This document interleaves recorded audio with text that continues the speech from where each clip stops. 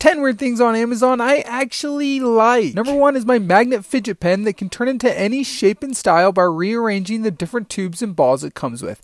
You can either have it be a stylus or pen. It actually writes very smooth and the possibilities are endless. That's amazing. Number one are my food cubbies that can help you get through a dinner with picky children like these ones. Just place it on their plate, set the food in their new homes, and then let there be peace. Good idea. Number one is my pot dog that holds on my pot spoons for me. Number one is my restickable Hot Tools holster that allows my wife to have a good place to set her straightener when she's not using it or setting it down to cool No off. Number one are my headlights that can stick to any pair of Crocs so you can have fantastic light while patrolling at night in your favorite shoes.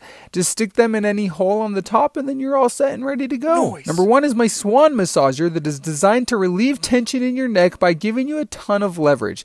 It works on other places too and it feels so nice. Okay, thanks for watching. Love you. Bye.